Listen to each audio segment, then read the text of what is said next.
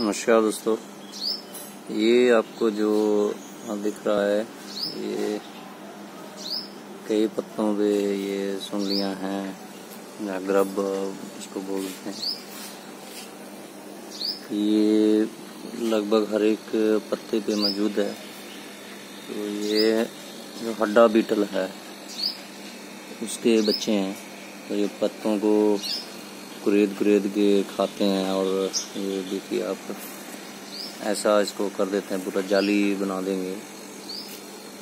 इसी के साथ हमने पौधे पे यहाँ पे अभी हाँ ये देखिए, ये और भी कीट है यहाँ पे। मकड़ियाँ जो है वो हमने घूमती हुई देखी हैं यहाँ पे। ये यहाँ पे एक मकड़ी है। ये हड्डा बीटल का ही एक और गब है यहाँ पे। तो फ़सल को जब जो कीड़ा जिसकी ज़रूरत होती है, वो खुद उसको बुलाती है।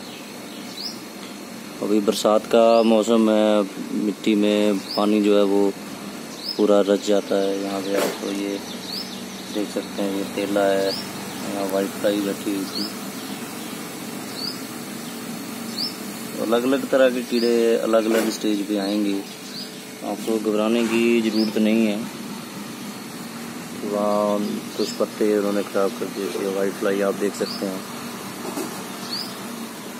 तो इन कीड़ों के थोड़ा सा आप दिन में 10-15 मिनट पौधों पे बिताएँगे तो आपको थोड़ा थोड़ा आइडिया हो जाएगा कि कौन कौन से कीड़े कब कब आते हैं और पौधे की आप ग्रोथ जो है उसको नोट करते रहें। देखिए, इसमें नई पत्ते भी आ रहे हैं, फूल आ रहे हैं आप फल भी लगे हुए हैं। तो हमें पत्तों पे उतना ध्यान नहीं देना चाहिए, देखना ज़रूर चाहिए। लेकिन उसकी ग्रोथ जो है कि नई शाखा निकल रही है, उसमें नए फूल, फल आ रहे हैं, वो जारी रहना चाहिए। अगर उसमें कोई दिक्कत आ रही है, फिर सोचना पड़ेगा। तो घबराने की ज़रूरत नहीं है। कीटों के बारे में आप सीखोगे तो फिर डर जो है, वो मन से निकल जाएगा। धन्यवाद।